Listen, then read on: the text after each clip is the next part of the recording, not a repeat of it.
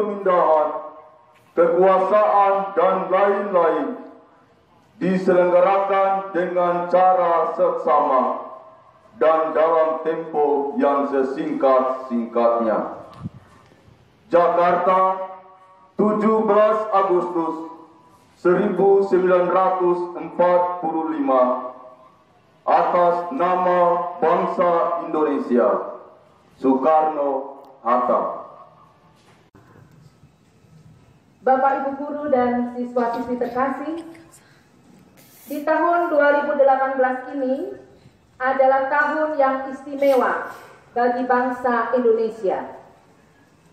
Karena selain bertepatan dengan 73 tahun kemerdekaan RI, kita juga menyambut perhelatan akbar ajang Asian Games ke-17 di mana negara kita kembali dipercaya menjadi tuan rumah setelah 56 tahun lamanya.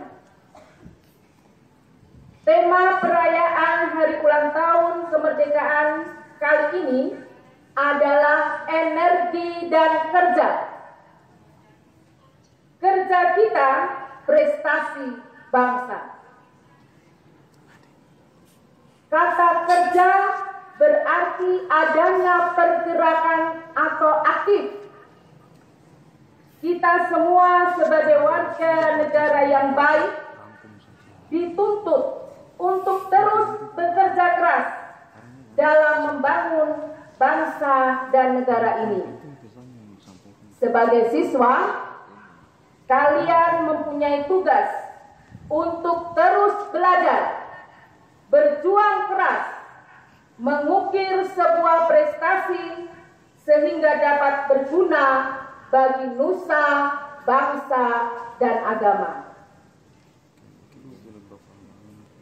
Siswa-siswi yang saya kasihi, dengan memperingati hari ulang tahun kemerdekaan ini, saya berharap semoga kalian semua dapat lebih meningkatkan lagi jiwa patriotisme dan nasionalisme kepada tanah air tercinta.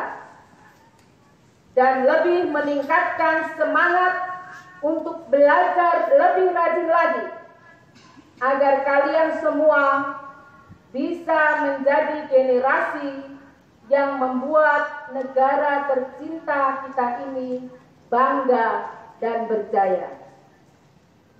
Sekali lagi saya tekankan bahwa semangat nasionalisme itu sangatlah penting. Apalagi di kalangan pelajar seperti kalian semua. Karena jiwa nasionalisme dapat membentuk kesadaran dan kesetiaan terhadap bangsa dan negara dan agama. Dengan adanya nasionalisme, kita dapat menjalin kerukunan antar sesama sehingga pembangunan di negara ini dapat berjalan lancar dan sesuai harapan bersama.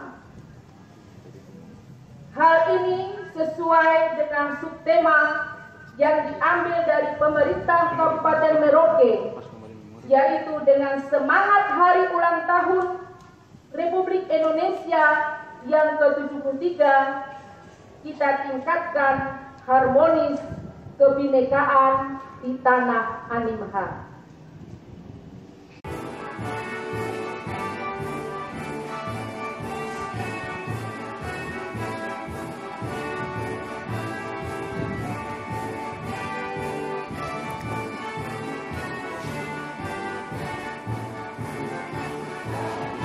see you.